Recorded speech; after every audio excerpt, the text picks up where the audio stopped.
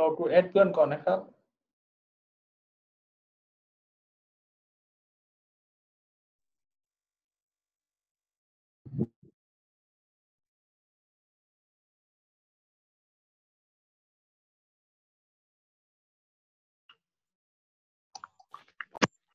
ระหว่างนี้ก็หาน้ำหาอะไรกินกันก่อนบางกลางๆ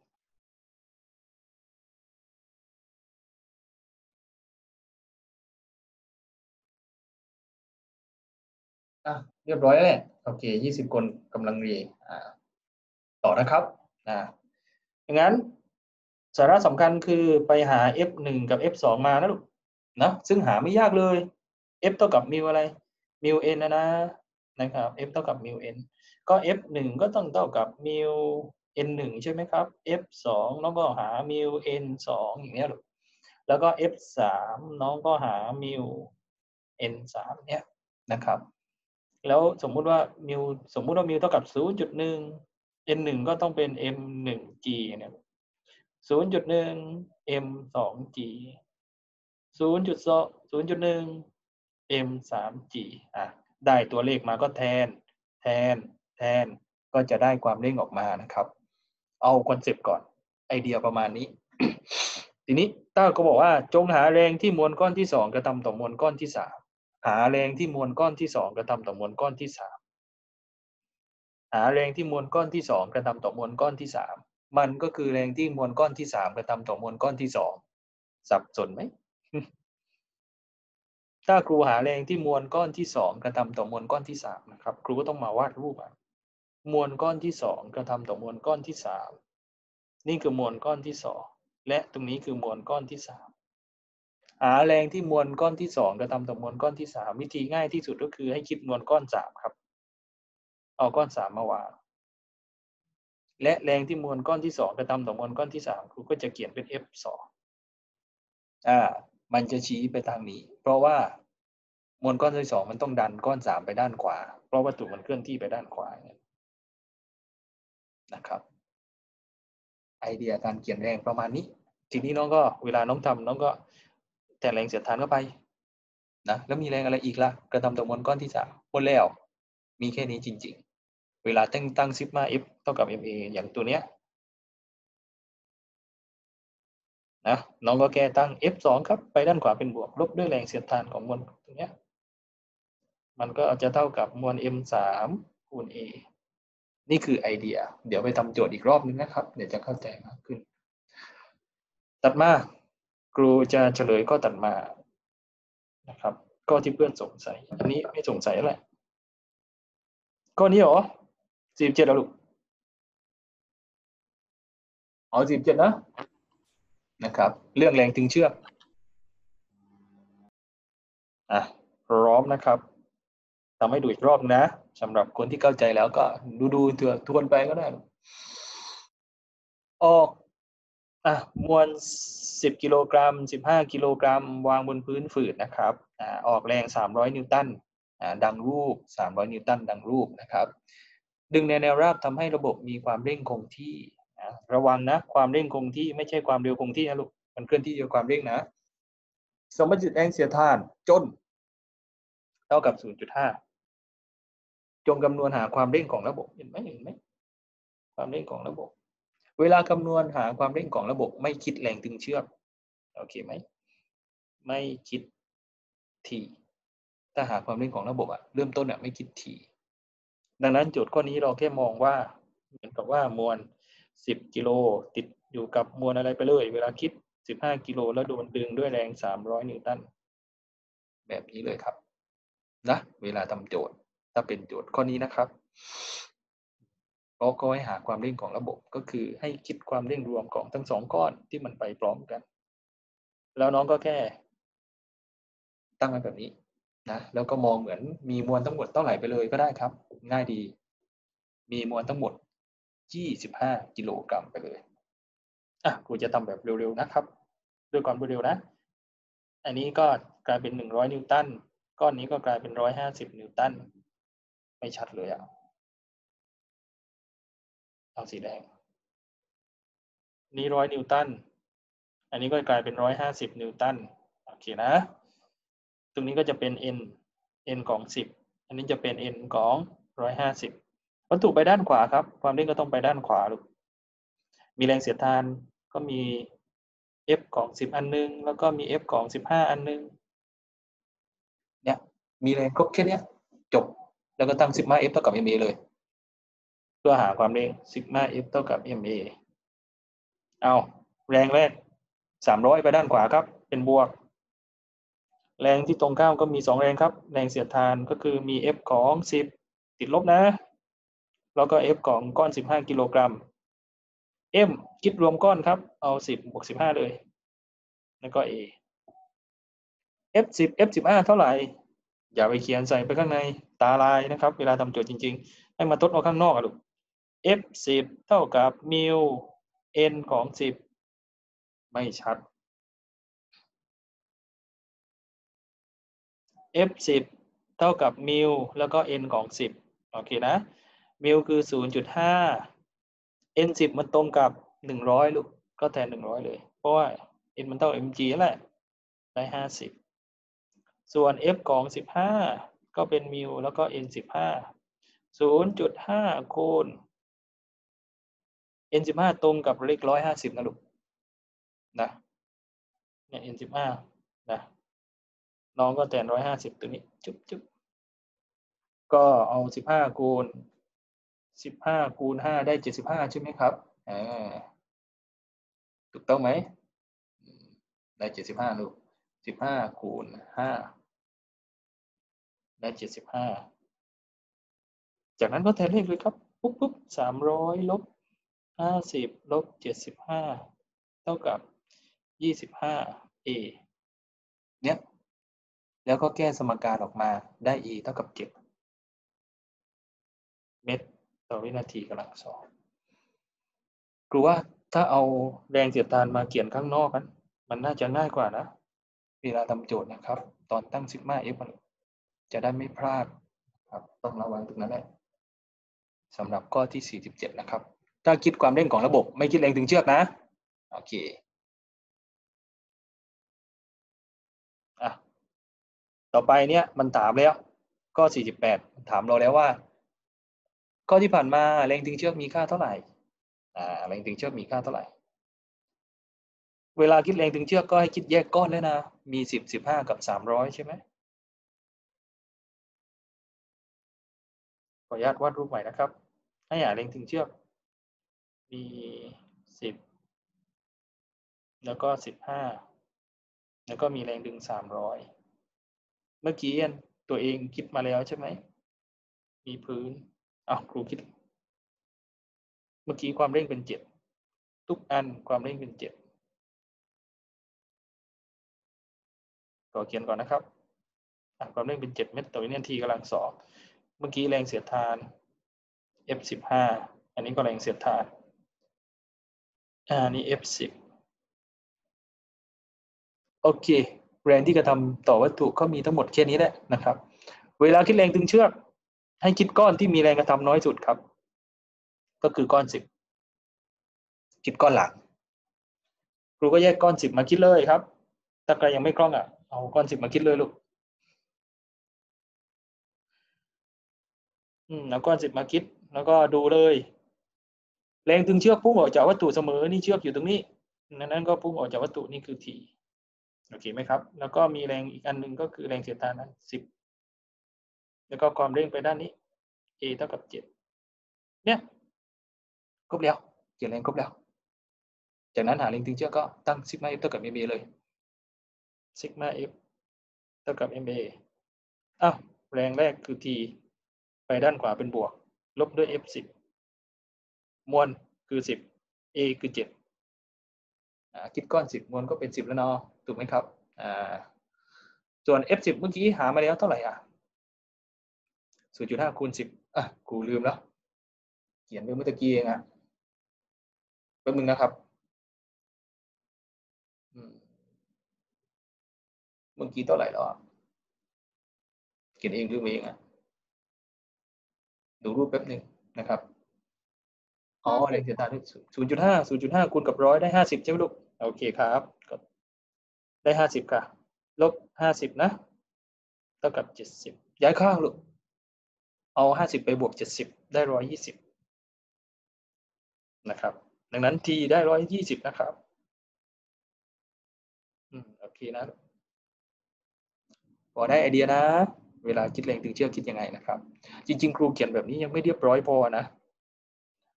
ทำไมครูไม่คิดแรงในแนวแกน y เลย แรงในแนวแกน y แค่เอาไว้คิดแรงเดียดทานอย่างเดียวนะครับเนาะระวังหน่อยลูกนะครับ เวลาตั้งซิกมา f มันเราคิดเฉพาะแรงในแนวแกน x อย่างเดียวนะ แรงในแนวแกน y เอาไว้หาแรงเสียดทานอย่างเดียวเนาะเพราะว่า n มันเท่ากับ mg นะครับ แต่ว่าครูกาหนูว่าหาแรงตึงเชือกที่มวลก้อน 15 ได้ไหมได้ครับ แต่ว่าครูตั้งไว้ให้ดูคร่าวๆนะ เพราะว่าเวลาเราน้อยนะครับ ถ้าครูมาคิดก้อน 15 ก็ได้ลูก อ่าแต่ก้อน 15 มีแรงอันแรกคือแรง 300 ใช่ไหมแล้วก้อน 15 ก็มีแรงเสียดทานของเขาก็คือ F15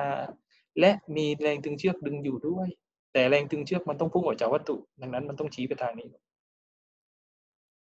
ถ้าคิดมวลก้อน 15 กิโลกรัมนะครับ ว่าแรงตึงเชือกมีค่าเท่าไหร่ อย่าลืมนะ เขียนแรงตึงเชือกให้ชี้ลูกศรพุ่งออกจากวัตถุเสมอ ข้อนี้วัตถุไปด้านขวาใช่ไหมเวลาน้องตั้งซิกมา f เท่ากับ ma นี่ครูมาเขียนตรงนี้เลยนะลูก น้องก็ต้องเขียน300ลบด้วย t และก็ลบด้วยแรงเสียดทาน เพราะมันตรงข้ามกัน ลบด้วย f15 อย่างเงี้ย m ก็คิดก้อน15อยู่ก็ต้องเขียน15แล้วก็ a เป็น7ที่เหลือหนูแทนตัวเลขแล้วมันจะได้เท่ากันเป๊ะเลยครับ ได้ t เท่ากับ120เหมือนกันเลย แต่สังเกตว่ามันมีแรงตั้ง3แรงอยู่ เราก็เลยไปคิดก้อน10กิโลกรัมมันจะง่ายกว่า เวลาคิดแรงตึงเชือกนะครับ โอเคไหมนะครับอ้าวก็ตัดไปนะฮะที่เพื่อนสงสัยนะครับ จะเคลียร์ไปเป็นเรื่อยๆนะครับข้อไหนอีกบ้าง ดูสิเดี๋ยวแชร์มาให้เพื่อนส่งมานะครับจะเหลือข้อที่ไม่เคลียร์นะครับใครอยากให้ครูแชร์ข้อไหนเป็นพิเศษก็บอกหนึ่งข้อ 45 และ 48หรอเมื่อกี้ครูอธิบายแล้ว 4 5 48เรียบร้อยแล้วนะ อยากทบทวนเรื่องความเร็วของบอลลูนได้ได้ได้ได้นี่ถ่ายมาแบบเอียงเอียงก็ยี่สิบสี่ลูกข้อไหนอะยี่สิบห้าและยี่สิบสี่โอเคยี่สิบห้ายี่สิบสี่นะ ก็ยี่สิบห้าเอา mg ลบ aa ไซมอนไซมอนต่อเลยครับหลุด อ๋อพี่วุฒิส่งมาก็ยี่สิบห้านะครับ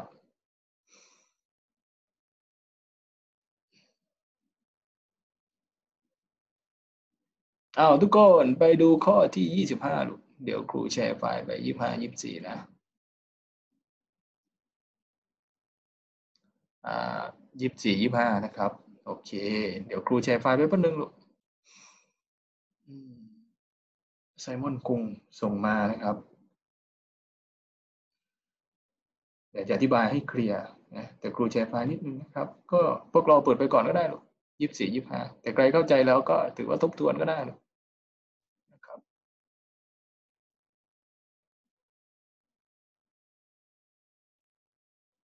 ระหว่างนี้ก็วิ่งไปเข้าน้ำก่อนก็ได้นะหาน้ำอะไรกิน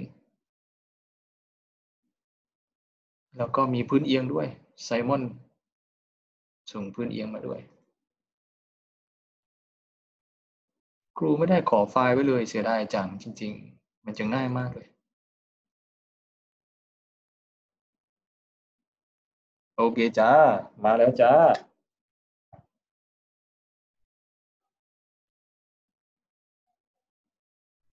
ขอดูคำถามนิดนึงนะครับ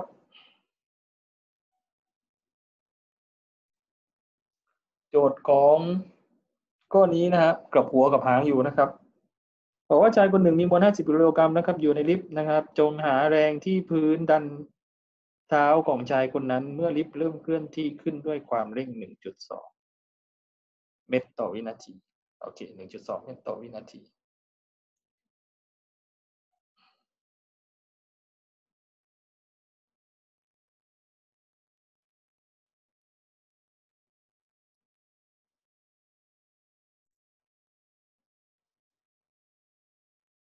ด้วยแต่ไม่ได้ว่ะ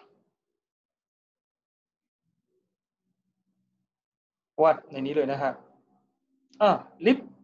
เคลื่อนที่ขึ้น แล้วก็มีผู้ชายอยู่ในลิฟต์งั้นอย่าคิดอะไรมากลูกเขาถามผู้ชายเขาไม่ได้ถามลิฟต์โอเคไหมเวลาน้องตำโจทย์อะลูกเขาถามผู้ชายไม่ได้ถามลิฟต์นะครับ ลิฟต์เคลื่อนที่ขึ้นด้วยความเร่งเท่ากับ 1.2 เมตร ต่อวินาทีกำลังสองนะครับ ดังนั้นความเร่งของผู้ชายคนนี้เขาอยู่ในลิฟต์ก็จะเป็นสองอ่าหนึ่งจุดสองเหมือนกันโอเคไหม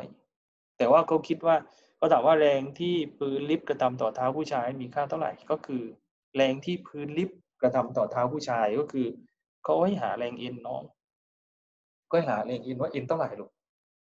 โอเคนะตัวหน่อยๆผู้ชายคนนี้มี mg ใช่ไหม เท่ากับ 500 นิวตัน เพราะว่ามวลผู้ชายคนนี้โจทย์กำหนดมาให้เท่ากับ 50 กิโลกรัม นั่นแหละผู้ชายคนนี้มีแรงกระทำแค่สองแรงครับ แรง N คือเท้ามันมีสองเท้า แต่ว่ารวมแรง N เป็น N เดียวเนาะ N ใหญ่ N เดียว เคลื่อนที่ขึ้นเป็นบวกครับ เคลื่อนที่ลงเป็นลบ ดังนั้นเวลาน้องตั้ง sigma F เท่ากับ ma น้องก็ตั้งเลยลูนี่นี่นี่นี่ตั้งเลย โอเคไหม ขึ้นคือ n ลงคือ mg คือห้าร้อยมวลห้าสิบ a หนึ่งจุดสองสิบสองห้าหกสิบดังนั้น n จะเท่ากับห้าร้อยหกสิบนิวตัน นี่คือแรงที่เท้ากระทำต่อแรงที่พื้นลิฟต์กระทำต่อเท้าผู้ชายคนนี้ครับ ก็คือห้าร้อยหกสิบนิวตัน ตัดมา คำถามก็คือว่า จากข้อที่ผ่านมานะครับ จงหาแรงที่ลิฟต์กระทำต่อเท้าผู้ชายเมื่อเคลื่อนที่ลงบ้าง เคลื่อนที่ลง ก็ลิฟต์เคลื่อนที่ลง น้องก็อย่าไปคิดอะไรมาก นี่ลิฟต์ใช่ไหมอ่า ลิฟต์เคลื่อนที่ลงอ่าถ้าถ้าเป็นข้อสอบแสดงวิธีทำก็เขียนไปให้คุณครูก็หน่อยนะ หนึ่งจุดสองเมตรต่อวินาทีกำลังสองอ่าเคลื่อนที่ลงอย่างนี้มีผู้ชายอยู่ชึบชึบนะเหมือนที่วุฒิเช็ดมาแหละนะครับ ครูก็ต้องเขียน mg ก่อน mg ผู้ชายคนนี้คือห้าร้อยแล้วก็เหมือนเดิมครับ แรงที่เท้ากระทำต่อผู้ชายคนนี้ก็คือแรงเอ็นมันก็มีแรงอยู่แค่นี้ลิฟต์เคลื่อนที่ลงด้วยความเร่งผู้ชายคนนี้ก็จะมีความเร่งเท่ากับความเร่งลิฟต์พอดีเลย เหมือนกันอะก้อนนี้เคลื่อนที่ลงต้องเป็นบวกครับ แรงอันไหนที่ตรงข้ามกับที่เคลื่อนที่ลงติดลบหมดเลย ดังนั้นข้อนี้ครูต้องตั้งซิกมา f ก็คือร้อยห้าร้อยลบ ลบ n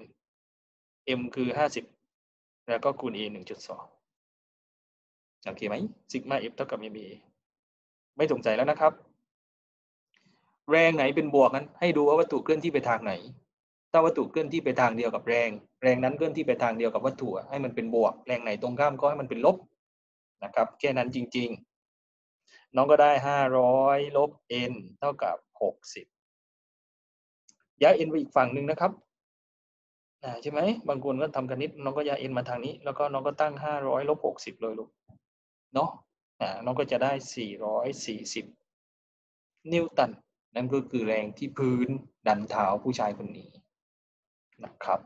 เวลาเราจะรู้สึกว่าตัวเราเบาลงนะครับ เมื่อลิฟต์เคลื่อนที่ลงนะครับ แต่ถ้าลิฟต์เคลื่อนที่ขึ้นเราจะรู้สึกว่าตัวเราหนัก จริงหรือเปล่าก็ลองนึกภาพตอนที่ตัวเองขึ้นลิฟต์นะครับเนาะก็ต่อไป ที่ส่งมาพื้นเอียง ไม่แน่ใจพื้นเอียงหรอ หรือว่าสงสัยตรงไหนของพื้นเอียงเนี่ยนะครับ หรือว่าจะทำให้ดูหมดเลยนะครับ น่าจะเป็นข้อสุด ที่ส่งคนไหนอะที่ไซมอนส่งมานี่เอาหมดเลยก็ได้ครู เอาหมดเลยลูกโอเคครับ ได้ครับผม ก็ตัดไปเอาหมดเลยนะครับนี่เพื่อนทำมาเหมือนถูกแล้วใช่ไหมนี่ได้ข้อสี่โอ้เออนี่ถูกแล้วนะแต่ว่าโอเคเอาหมดเลยใหม่ก่อนก็ได้นะ เดี๋ยวครูเซฟไฟล์ก่อน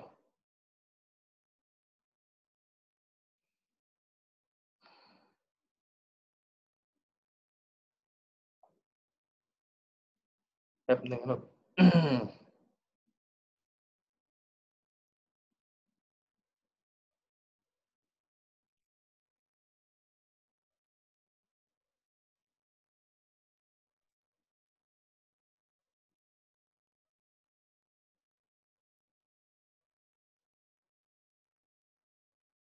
นะมาแล้วนะครับผมอะมาดูโจทย์เลยนะครับ วัตถุ วัตถุนะครับ มีมวลนะครับ15รูท2กิโลกรัม วางอยู่ในพื้นฝพื้นระนาบแล้วก็ฝืดด้วยนะ ฝืดด้วยนะ รอดมุม45องศาดังรูปเลยนะครับ กับแนวราบออกแรง F ดึงวัตถุขนานกับแนวเอียง ถ้าสัมประสิทธิ์ความเสียดทานเท่ากับ 0.5 นะครับ จงหาแรง F นะ จงหาแรง F ที่พอดี นี่นี่นี่น้องดูแล้ว จงหาแรง F ที่มีคำว่าพอดีเนี่ย เพื่อนก็ขีดไว้แล้วด้วย วัตถุขยับขึ้นคำว่าที่พอดีหมายถึงซิกมา F เท่ากับศูนย์ครับจำไว้เลยลูกนะ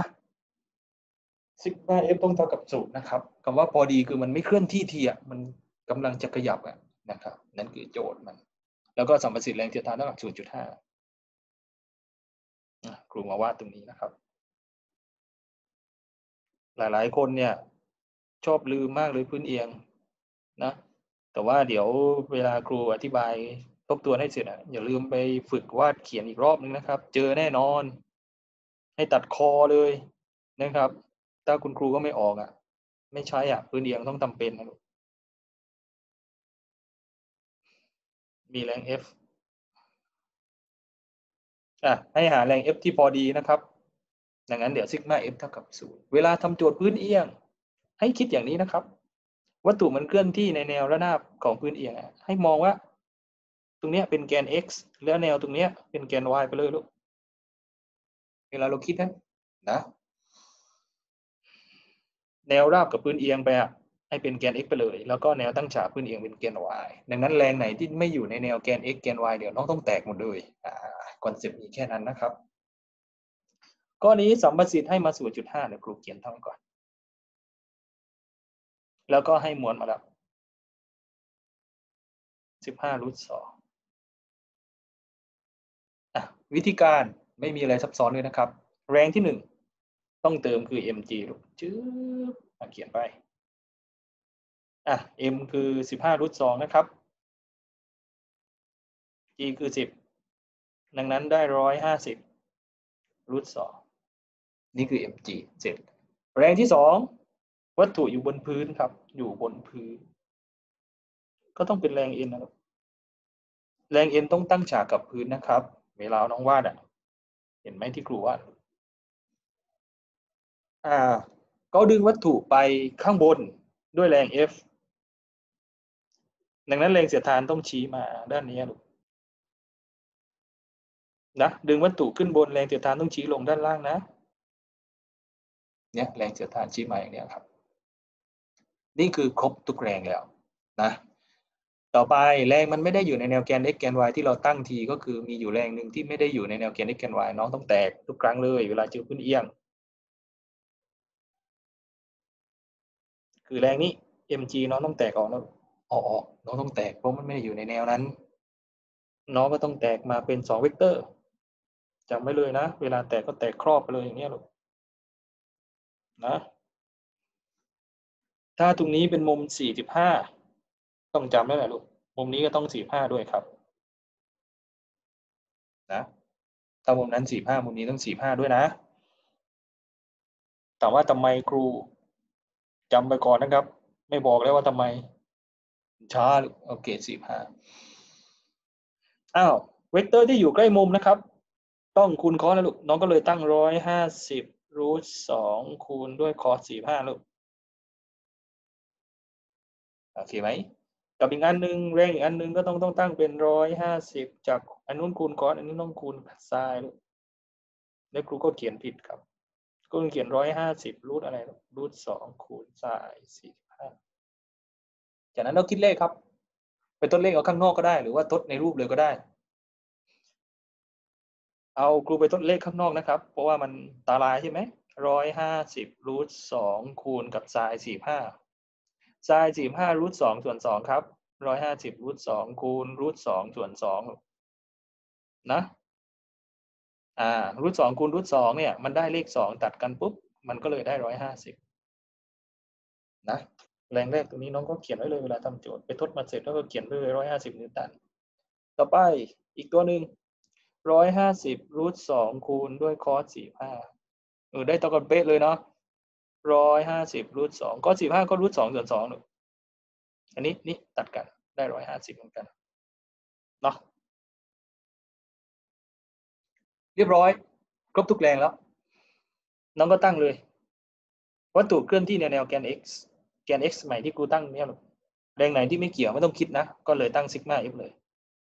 ซิกมา f เท่ากับ ma แต่ว่าข้อนี้มันเท่ากับศูนย์คำว่าซิกมา f เท่ากับศูนย์ก็คือแรง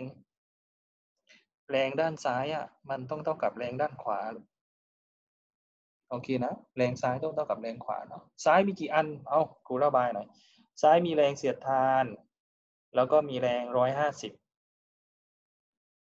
โอเคไหม ขวามีแรงอะไร ขวามีแรง F อย่างเดียวอ้าวซ้ายเท่ากับขวาครูก็อาจจะเขียนซ้ายก่อน ซ้ายแรงแรกคือร้อยห้าสิบบวกด้วยแรงเสียดทานจุ๊บจุ๊บโอเคไหมเท่ากับขวาคือ F นี่คือการคิดแบบแรก ตั้งแบบนี้ก็ได้ กับบางคนครูครับ ผมจะกำหนดว่าไปด้านขวาเป็นบวก แสดงว่าไปด้านซ้ายติดลบ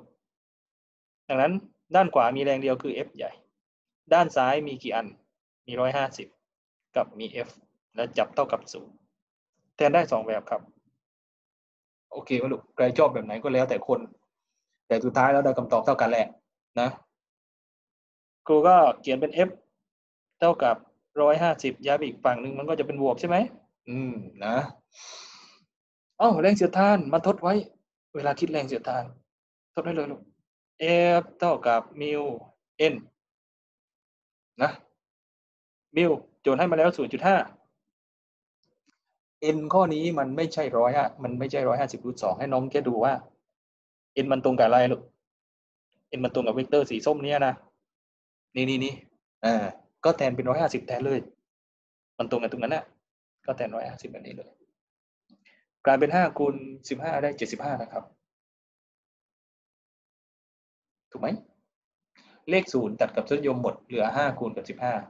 นะห้าคูณกับสิบห้าได้เจ็ดสิบห้าครูก็แค่แทนเข้าไปร้อยห้าสิบบวกเจ็ดสิบห้าเนาะก็เลยได้สองร้อยยี่สิบห้านิวตัน นี่คือแรงพอดีที่จะทำให้วัตถุเคลื่อนที่นะครับ โอเคนะ ต่อไปมาดูคำถามถัดไปลูกก็ถามว่า ข้อที่ผ่านมานะครับ จงคำนวณแรง F ที่พอดีที่ทำให้วัตถุขยับลง แรง F ที่พอดีที่ทำให้วัตถุขยับลงนะครับ แรง F ที่พอดีที่ทำให้วัตถุขยับลงไอ้เมื่อกี้ให้หาแรง F ที่พอดีที่ทำให้วัตถุขยับขึ้นนะครับแรง F ที่พอดีที่ทำให้วัตถุขยับลงนะครับ คือเท่าไหร่ ก็คือต้องออกแรงแล้วเป็นไงครับ ให้มันเท่ากับแรงเสียดทานนะนะนะครับ ก็แค่เช็คแรงเสียดทาน อย่างเดียวก็พอแล้วนะครับ เมื่อกี้แรงเสียดทานมีค่าเท่าไหร่ล่ะ ที่ทำให้วัตถุขยับลง เดี๋ยวนี้ครูวาดทับเข้าไปตรงนี้ก็เลยก็ได้ของไซมอนเนี่ยครูวาดต่อจากเดิมเลยนะ เมื่อกี้แรงเสียดทานมัน ถ้าวัตถุขยับลงเวลาเราวาดฟรีบอดี้ในแกรมคิดใหม่เนี่ยต้องเขียนอย่างนี้หรอครูวาดใหม่เลยนะ อืมแรงเสียดทานไปด้านนี้แล้วเพราะวัตถุมันขยับลง ข้อนี้นะแล้วก็แรง F ใหญ่ โอเคไหมครับ ต้องวาดใหม่แบบนี้แล้วนะ เพราะมันเป็นแรง F ที่ทำให้ขยับลงไง ถ้าวัตถุขยับลงแรงเสียดทานก็ต้องไปอีกด้านหนึ่งวัตถุมันขยับลงมาด้านนี้ โอเคไหมครับ เวลาต้องทำโจทย์แล้วลูก อะนี่แรงเสียดทานไปด้านนี้แหละอะก็เหมือนเดิมครับจบเวลาแล้วเนาะนะครับเหลือสิบนาทีสุดท้ายครับ ที่ครูจะทวนให้พวกเรายังไม่ได้ขึ้นจดบนรูนเลย บนรูนเดี๋ยวน้องก็เดี๋ยวครูก็ทวในนิดนึงแล้วน้องก็ไปดูวิดีโอเก่านะครับ ที่ครูลงไว้ให้ใน Facebook อะนะครับ อืมก็ MG เมื่อกี้ครูเอามาใช้เลยเนาะตอนที่แตกมาแล้วนะครับ แตกมาเป็นสองนั้นนะลูก เมื่อกี้ก็แตกเหมือนเดิมนะ ตรงนี้มันคือ MG ใช่ไหมอะเอาออกเอาออกเอาออกอ่าก็ได้ออกมาเมื่อกี้คือเส้นนี้ได้ร้อยห้าสิบใช้รูปเดิมเมื่อกี้ที่คิดมาร้อยห้าสิบแล้วก็มีแรงเอ็นเหมือนเดิมครับ ขยับลงบอดีก็ตั้งซิกมา f เท่ากับศูนย์ครับ แรงขึ้นเท่ากับแรงลงแรงซ้ายเท่ากับแรงขวา แรงเสียดทานเมื่อกี้คิดมาแล้วนะครับ ได้มาเท่าเดิมนั่นแหละนะ เอาของเดิมมาคิดได้เลยหรือว่าคิดใหม่ก็ได้เอาแรงเสียดทาน F เท่ากับมิว n อ่ามิวคือ 0.5 ใช่ไหมเมื่อกี้ n คือ 150 ดังนั้นมันคือ 75 นิวตัน นี่คือแรงเสียดทานอ้าววัตถุเคลื่อนที่ลง แรงที่ลงเป็นบวก แรงที่ขึ้นเป็นลบสำหรับข้อสำหรับรูปนี้นะ เพราะว่ามันเคลื่อนที่ลงไงลูกก็จากซิกมา F เท่ากับ ma อ้าวลงคือ มีแต่ร้อยห้าสิบอย่างเดียว นะ ขึ้นมีสองอันคือ f ใหญ่ลบด้วย f เล็ก เท่ากับศูนย์อ่าเพราะว่าคำว่าพอดีซิกมา f เท่ากับศูนย์นั่นเองร้อยห้าสิบเอา f ใหญ่ครูย้ายมาด้านขวาเป็นบวกตัวนี้เหลือร้อยห้าสิบลบ f เล็กดังนั้นร้อยห้าสิบลบ f เล็ก f เล็กคือเจ็ดสิบห้านะอ่า ร้อยห้าสิบลบเจ็ดสิบห้าน้องก็เลยได้เจ็ดสิบห้านะครับ เรียบร้อยได้ข้อหนึ่งสรุปนะเวลาวาดรูปแรงเสียดทานนะต้องอ่านโจทย์นะครับ ว่ามันเคลื่อนที่ลงหรือว่าเคลื่อนที่ขึ้น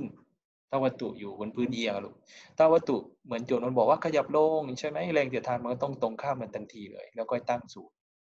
นะครับ เวลาน้องทำโจทย์นะ นี่คือข้อควรระวัง น่าจะเคลียร์นะสำหรับข้อ 50 นะครับไม่แน่ใจว่าพวกเราเคลียร์หรือเปล่า แต่อย่าฟังกูอย่างเดียวนะ เดี๋ยวคืนนี้ให้ไปทำเองใหม่อีกรอบหนึ่งนะครับ มันจะทำให้น้องเข้าใจมากขึ้น เอ่อก็ตัดมานะครับที่สงสัยเหรอ ก็ที่เท่าไหร่อะ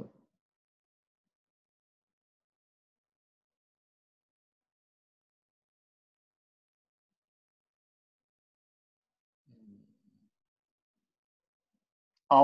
ข้อที่ห้าสิบเอ็ดนะนะเฮ้ยห้าสิบเอ็ดเรียบร้อยได้ยังอะเมื่อกี้อธิบายอ๋อยังเลย เอาต่อกับข้อห้าสิบเอ็ดนะครับเขียนตรงนี้เลยนะข้อห้าสิบเอ็ดนะอะข้อห้าสิบเอ็ดโจทย์บอกว่า จากข้อที่ผ่านมาจงคำนวณหาแรง F นะครับ ที่ทำให้วัตถุเคลื่อนที่ขึ้นด้วยความเร่ง อ่าเห็นไหมข้อที่ห้าสิบเอ็ดนะ ขอวาดรูปเดิมนะครับ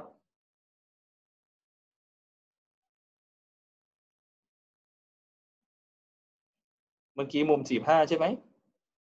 แล้วก็มีแรง F ข้อที่ห้าสิบเอ็ดโจทย์บอกว่าขึ้น ดังนั้นความเร่งจะชี้ไปทางนี้อ่าโจทย์บอกว่าเคลื่อนที่ขึ้นด้วยความเร่งเท่ากับห้ารูทสองเมตรต่อวินาทีกำลังสองนี่คือโจทย์มันเป็นอย่างนี้ให้หาแรง F นะครับ ว่ามีค่าเท่าไหร่นะแล้วก็ทุกอย่างคือโจทย์เหมือนเดิมหมดทุกอย่างเลยนะครับ ซึ่งขอยกรูปเดิมมาที่น้องแตกแรงแล้ว เพราะว่าตรงนี้มันคือ mg ใช่ไหมเมื่อกี้อ่าแล้วมุมมันเดิมมุมเดิมอะลูกแตกมายังไงตรงนี้มันก็จะได้ร้อยห้าสิบเหมือนเดิมอะอีกเส้นหนึ่งก็ร้อยห้าสิบเส้นนี้ไม่คิดอะวัตถุเคลื่อนที่ขึ้นแรงเสียดทานต้องชี้ลงครับ เพราะโจทย์บอกว่าเคลื่อนที่ขึ้น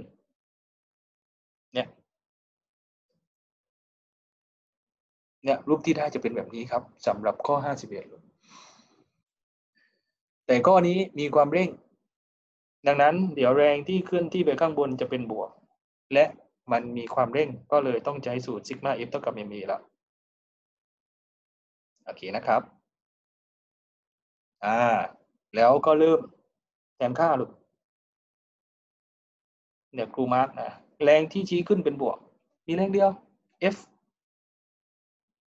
แล้วก็ตั้ง F ครับแรงที่ชี้ลงมีสองแรงครับ แรงเสียดทานกับแรงตัวนี้ร้อยห้าสิบน้องก็ลบแรงเสียดทานลบร้อยห้าสิบนะ มวลก็คือร้อยห้าสิบ root สองซึ่งโจทย์กำหนดมาให้เมื่อตะกี้นะครูยังจำได้อยู่นะลูกและความเร่งโจทย์กำหนดมาให้แล้วคือห้า square root สองโอเคนะ และแรงเสียดทาน เราเคยคำนวณมาแล้วเนาะเราก็ใช้ของเดิมลูกคือเจ็ดสิบห้าอ่ากูก็แทนกับหมดทุกอย่างนะ ก็จะเป็น f ลบ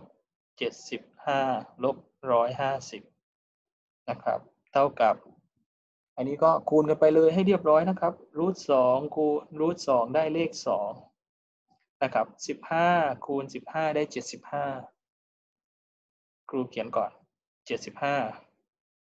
และร้อยห้าสิบอันนี้ได้สองนะครับ ถูกไหมอ่า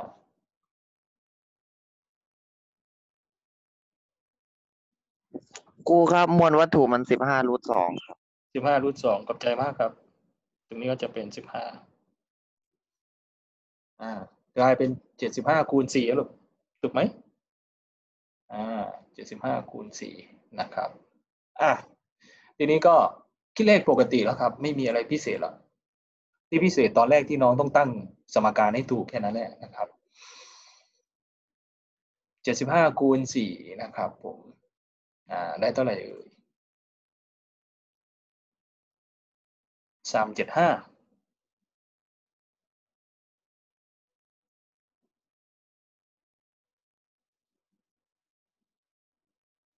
สิบห้าคูณห้ามันได้เจ็ดสิบห้าถูกไหมอะ ถูกแล้วเนาะนะครับ แล้วพวรูกทนี้สองคูณรูทสองได้สองกูเออ ได้สองขอบใจมากลูกตรงนี้ได้ร้อยห้าสิบแล้วก็ตรงนี้ก็บวกครูย้ายมาแล้วนะ บวกร้อยห้าสิบแล้วก็บวกอะไรลูกบวกเจ็ดสิบห้าเท่ากับ f ก็เลยได้เป็นสามร้อยเจ็ดสิบห้านิวตัน thank you อ่ารีบคูณเกินพอได้ไอเดียไหม ก็คือตอบสามเจ็ดห้าลูกนะเวลาตั้ง sigma f นะลูกดูดีๆนะ แก้น้องดูว่าวัตถุมันไปทางไหน แรงนั้นก็จะเป็นบวก ส่วนแรงที่อยู่ตรงข้ามอะก็จะติดลบหมดเลยนะครับ ที่เหลือเป็นเรื่องของการคิดเลขแล้วมันก็มีสะเพร่าได้น้องก็พยายามเช็คหน่อยลูกถ้ามันไม่ตรงในช้อยนะครับ มีข้อไหนอีกบ้างล่ะที่สงสัย น่าจะได้นั่นแหละครูว่านะเรื่องเอธิบายหมดแล้วอธิบายหมดแล้วอ้าวสองนาทีสุดท้ายครับ มาดูโจทย์บอลลูนสักข้อหนึ่งก็ได้ ครูจะทวนให้หน่อยนะครับ concept บอลลูนอย่างเดียวนะครับอ่าเรามีบอลลูนนะเป็นข้อเขียนนครูวาดบอลลูนเหมือนถังอันนี้บอลลูนนะครับอะแล้วแล้วโจทย์ข้อเขียนก็น่าจะเป็นบอลลูนเคลื่อนที่ขึ้นนั่นแหละไม่ได้เคลื่อนที่ลงเพราะว่าที่เราเรียน สมมติว่าบอลลูนเคลื่อนที่ขึ้น อยู่บอลลูนนะครับอ่าเท่ากับห้าเมตรต่อวินาทีลูกด้วยอัตราเร็วคงที่อ่า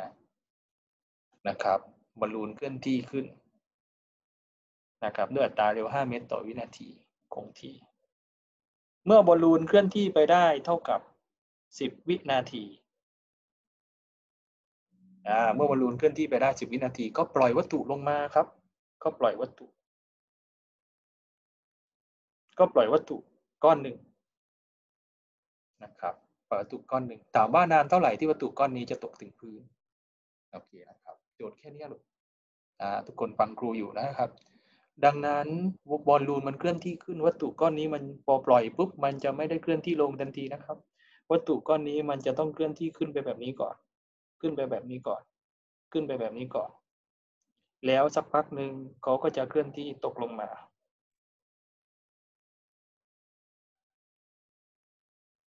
อ่า นี่คือไอเดียที่ต้องรู้ ถ้า